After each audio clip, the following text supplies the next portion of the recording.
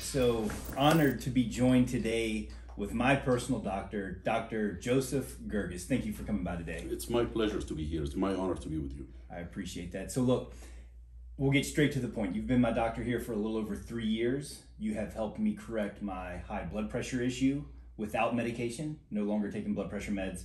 Um, AFib. AFib was a huge issue that I've been dealing with for many, many years. You've gotten that under control with no surgery. Uh, cholesterol issues with very minimal medication. We've corrected that.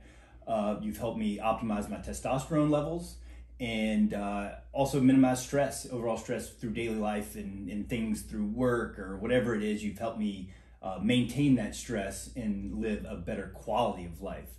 So I'd like you just to start here, give the guys some your credentials and, and your history and, and all that good stuff.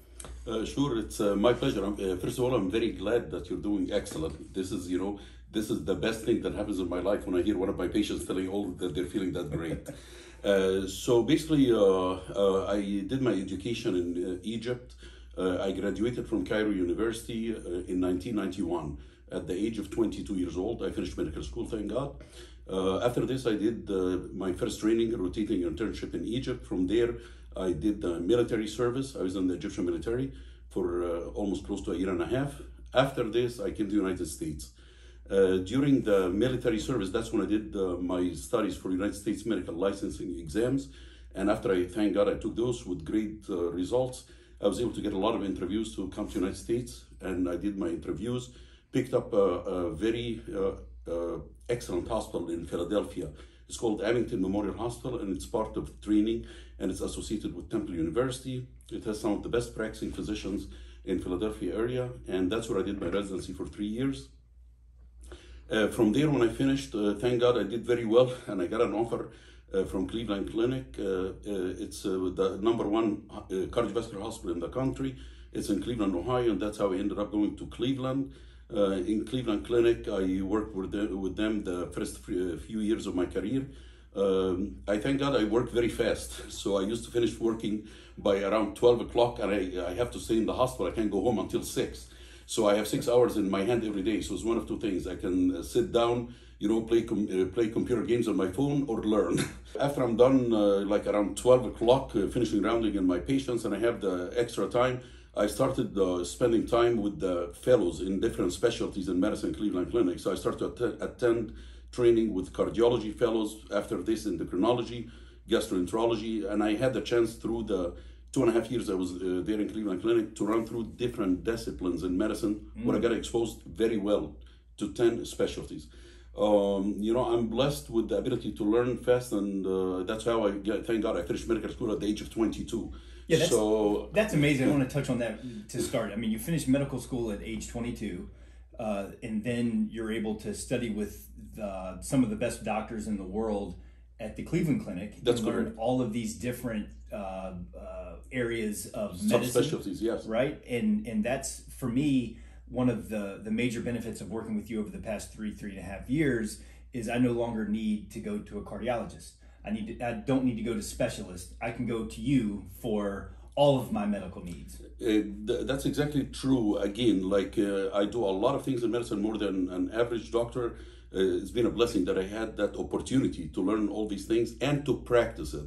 Because one of the things is when people do the specialty of internal medicine as a first specialty, uh, the training is very more geared towards let's uh, well uh, the stomach is hurting let's consult the stomach doctor uh, chest pain let's consult the heart doctor foot pain let's get the foot doctor so basically the medical system is oriented to like yes i i'm the one who's organizing your care but you have to run to 10 different, 10 different people for every little thing to tell you what you have. Right. And uh, thank God with that exposure I had in Cleveland Clinic. And then as a practicing physician, after I start my own medical center, in Ohio, I would I practiced what I learned, and I found out uh, through the years that the best learning actually came from my patients. So uh, very quickly, I started to become very busy. I reached a point in uh, Ohio uh, that my clinic was seeing like 80, 90, 100. I remember my record day seeing 120 patients in one day. Wow. Uh, so with this total wow. number of uh, office visits, you get to see at some point you see the same problem for, for so many different times, from many different angles, from many different patient circumstances. So the experience was the most important thing that you know made me who I am today. Is my patients. You know, uh, if an average doctor sees around 20 patients a day, and I thank God I was seeing 100 to 120, that was a blessing because I had the opportunity to have five times the experience of that average doctor. That shaped in a whole different way the way I practice medicine because you see the outcome of different conditions, different problems, how different specialists did it, how different surgeons approach a problem, what kind of complications happen. So at some point, you're able to have the vision and to steer your patients in the right direction from all the things that sits in your memory from similar situations. Of course, uh, it gets more complicated when you do that kind of scope of medicine because every morning I have to review different medical journals and studies for the 10 different areas that I do. Right, right. So you're you're getting hit from all different angles with all different correct types of uh, complications or ailments or whatever it is. But you've been lucky enough to, like you said, you were blessed. You've worked with a lot of different types of doctors throughout your educational period. Yes. And then you were able to work with so many patients. I mean, it's seeing up to 100, 120 patients per day and seeing all these issues and yes. being able to work through these problems. And to clarify in that part, a lot of people are going to say, like, you know, well, how come this guy, if he doesn't spend time with patients, if he's seeing 120 patients a day, then that's a, he must be like uh, not doing a good job. He's not listening to the patient. Things doesn't work this way. I developed a very efficient system. So when I was doing uh, this kind of work, you know, I had several physician assistants, nurse practitioners, and residents and medical students. All these people go in as a first line into the rooms, prepare the story, the, what is happening with the patients, what's all their complaints. And these people come out and they give me a consolidated presentation of what is going on. Same thing like when you come to my office and one of my mm-hmm. physician assistants always start with you and prepare things. And then as I go in, I'm very focused into all the issues you have, and I ask all the relevant questions. So this way, whatever, if you have five problems, six problems, ten problems, we make sure all of them are addressed properly, and we manage them. And then I don't waste my time writing prescriptions and doing this and that. That's where my assistants do all that extra.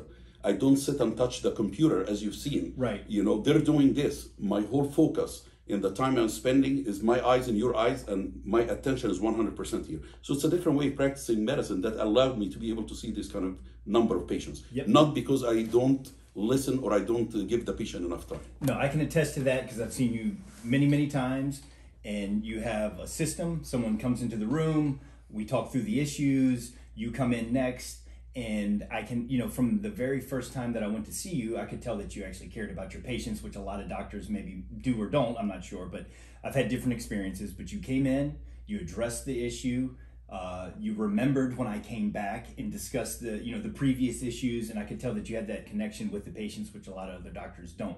So, and being that you do all of this and, and you work with so many different patients, obviously what you're doing is working because your business, your your practice is is very successful and busy. And I see a lot of people. it's definitely has been a blessing because uh, at some points, even since I left Ohio and I moved here to Florida, it was more or less like a start from scratch. And it's very hard to start from scratch oh. when you're living in a place where you're sitting on the top and everybody knows you. But at some point, I was frozen in the cold of Ohio, and I had to make the decision that I need to be in the sunshine in Florida. But the the most challenging part was like you know starting from scratch for people who don't know you who don't know what's the capabilities. So I remember it was I had a one year traumatic experience 2017, which is building my name in Florida from scratch. Mm. Why? Because every patient comes to me have five, six, seven specialists. Uh, you know, if these sneeze, they're seeing an ENT doctor. You know, if they had a headache, they're seeing a neurologist. Right. And, and the story, every every patient knows what I'm talking about. So for me to convince them that I know the answer for all these things, that was a massive challenge. So it, uh, it yeah, it's it, it's tough taking you know somebody's health when they've been used to another doctor. Exactly, seen people for years. You're the new guy yes. in town. But, but like know, I said, what you are doing is working. So. You could be seeing like six, seven, eight doctors, and a lot of things are mismanaged because different people doing different things that's not mixing together. Correct. So that's one of the big differences. Is when I'm looking at a patient with my mind ten specialties, I'm not doing something to fix the heart and miss up the kidney, or doing something you know to fix the the sugar and I'm missing up the liver. You know, all things are connected. So it's it makes a big difference when you put the puzzle within one brain than too many people are trying to help sincerely, but they're not paying attention what the other guy is thinking, and the patient's lost in the middle. Right. You know, so it took some time, but from 2018 and after, uh, things changed dramatically because people understood what I'm capable of and they seen the results. And that's how a lot of these patients started to put reviews online in every different angle.